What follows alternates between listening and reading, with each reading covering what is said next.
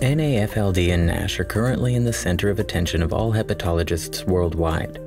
Currently, Petra works as a research scientist in University Hospital Hradec Králové. She cooperates with Mayo Clinic and Yale University and serves as a member of Diversity Committee, a standing committee of the American Association for the Study of Liver Diseases. During her PhD and postdoctoral training at Mayo Clinic, Petra developed a great interest in NASH, especially in investigating the mechanisms whereby liver inflammation occurs in NASH. For a long time, Petra and her colleagues were asking themselves the question how can hepatocyte injury promote liver inflammation? Can hepatocytes injured by lipid accumulation communicate with immune cells via release of extracellular vesicles?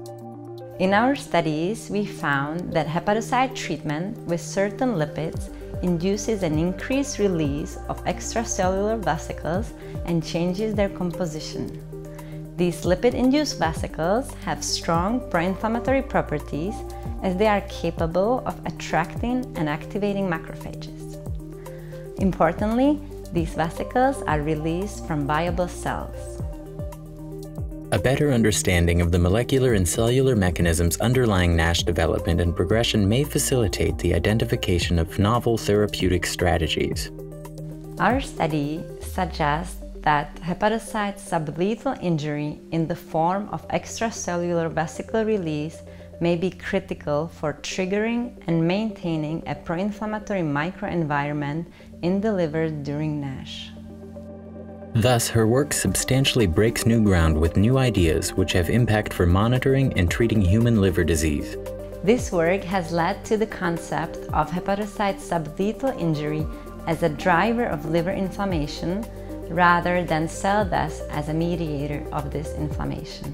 And not only her research, but also her life approach was interesting.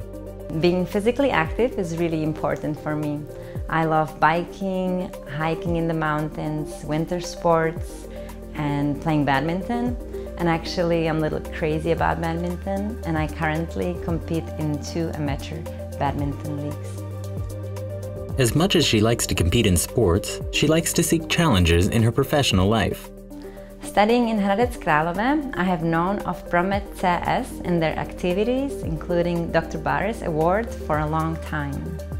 I feel truly honored that our work has received this prestigious award.